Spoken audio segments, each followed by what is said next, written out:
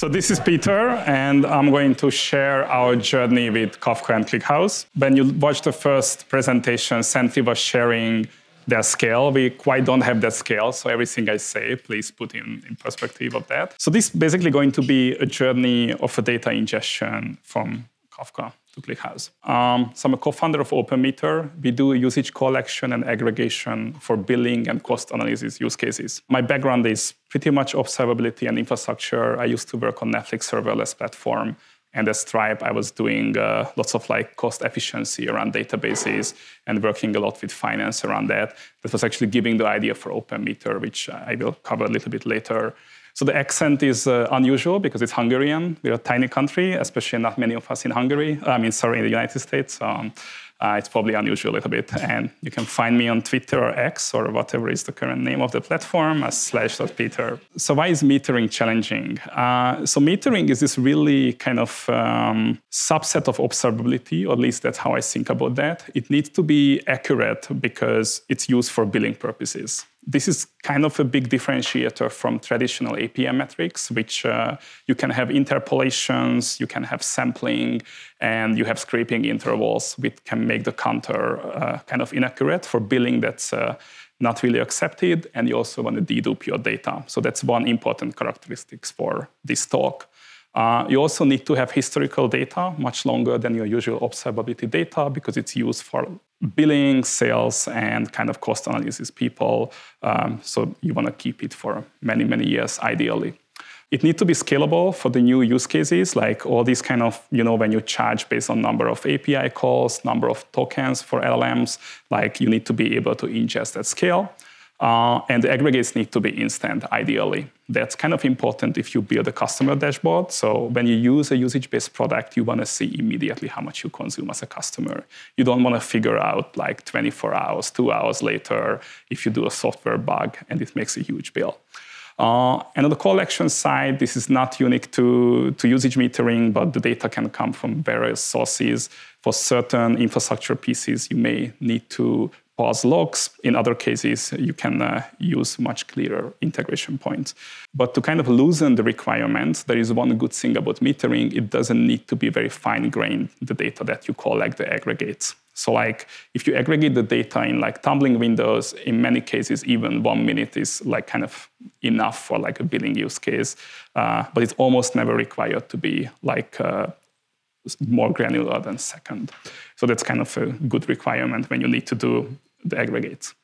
Um, so just super quickly how OpenMeter works, and then we zoom into the Kafka part. Uh, I don't think anything is surprising on this slide. It's a very traditional, everything goes into an API server that puts the data into Kafka topics, uh, which is partitioned by the customer's customer. And then we do the deduplication, and then we sync the data into ClickHouse. And now let's zoom into that very specific piece. Because I mentioned one side we have Kafka, another side we have ClickHouse, but we need to do a couple of things between, which is we need to do the deduplication. We also need to batch up the data. Probably if you work with ClickHouse, then you know that ClickHouse likes if you ingest data in a bigger batches less frequently. So that's something we want to achieve. And then obviously we need to insert into ClickHouse. Um, it's basically how we ingest the data that every account, so basically our customers, has a specific Kafka topic, and those Kafka topics are partitioned by their customers, so customers of customers. So that's how we are scaling Kafka. That's important of the context of this talk because it means we will have many, many Kafka partitions that all need to kind of funneled back into when we save it into ClickHouse. Um, so we do the batch inserts, what I mentioned. And for deduplication, right now we use Redis. That's not going to scale with us. We need to switch into some kind of Bloom filters because we are going to run out of the key space. Uh, but that's what we do now.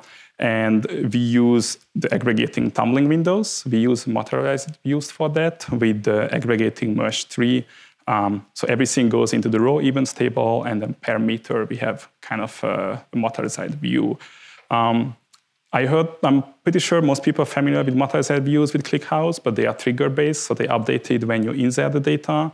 Uh, so kind of that's something that keep in mind. So this is not how it started, architecture, with the, the greatness of ClickHouse and everything what we love here. We started with a much uh, different architecture. We were using KSQL which is like a streaming database that kind of reads from a Kafka topic and writes to a Kafka topic. I know that Apache Flink is kind of a more modern version for that.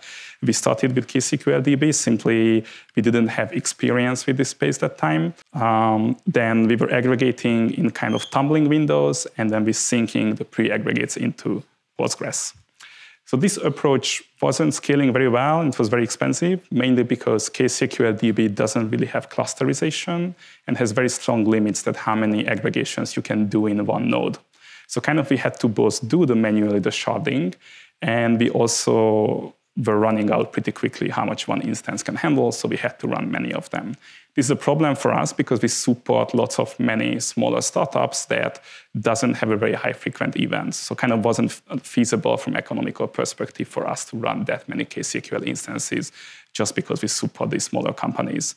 Um, so this is what we moved away. And kind of the first iteration on that was that we brought in ClickHouse and we moved the aggregation with kind of using multi-site views. Um, we started to use Kafka Connect. Um, Kafka Connect is basically this very robust framework to move data in and out of ClickHouse. I mean, not sorry, any kind of Kafka system. And what's really great that ClickHouse has this official Kafka connector um, that you can use to sync data from Kafka to ClickHouse. This was working really great. Uh, we had a couple of challenges with this that um, we are getting data from customers that we can't really validate and the ingestion part, it would be too expensive. And if we don't validate them, they can make a ClickHouse insert to fail. So we were failing pretty big batches, and uh, it was really challenging to kind of sort them out. We also had to move out of deduplication from the kind of the ingest, the, the consumer, which was leading from some inconsistencies. So we were pretty happy with the performance of this approach, but we were lacking some kind of validation and consistency. Um, and uh, there was another challenge around this that we were using uh, Confluent and they not allow you as of today to update the binaries of a Kafka Connect plugin with the same group ID. So kind of you can, can continue your Kafka consumption from the same offset. And that was obviously, again, challenging from uh, updating binaries and consistency perspective. So next step was, which they don't recommend you usually, to implement your own Kafka Connects. I remember when I first heard about Kafka Connector. I listened this podcast from the creator of Kafka Connect, and the person only said like 10 times not to implement your own Kafka Connect. Um, so I was a little bit hesitant to go into this journey, but obviously we did it.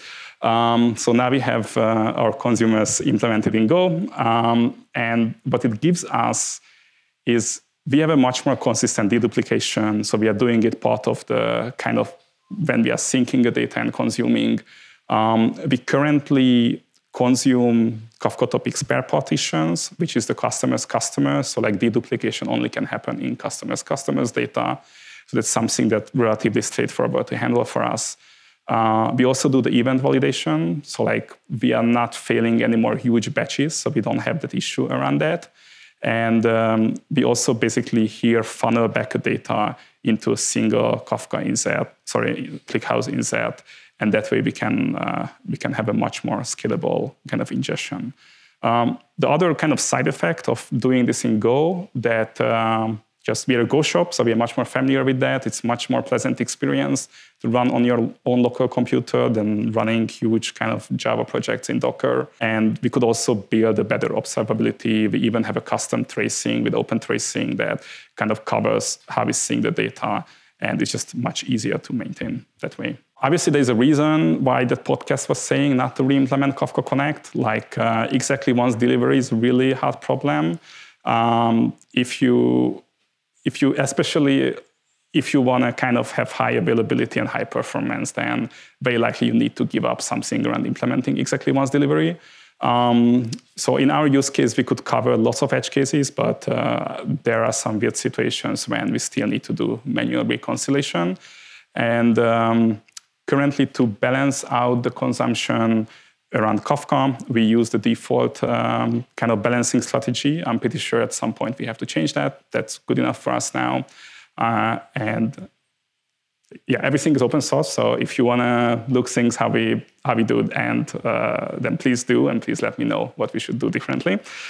And uh, yeah, this is just basically this is the default partition strategy of Kafka. But you can see here is Uh, for some people who are not familiar with Kafka, it's basically you have topics. You can almost think about like queues, and one topic can be backed by multiple partitions. And partition is kind of the smallest granularity, in my understanding, that you can scale Kafka. So you can assign one node basically to one partition. And on the other side, this is our Go consumers, where you can do the same. Basically, the smallest granularity, how we can scale the system, is at one Kafka node per partition and one Go consumer. And then we have to go vertical scaling for now. That's what I wanted to share today. Um, so this was our journey with uh, Kafka and ClickHouse so far, and I'm pretty sure it's going to evolve in the upcoming months. And I have a big ask. We are launching on Product Hunt in four hours, basically at midnight. Uh, so it would be uh, mean the world to us if you uh, check the QR code or openmeter.io.ph and you subscribe to our launch. Uh, that would be a huge help. Uh, thank you.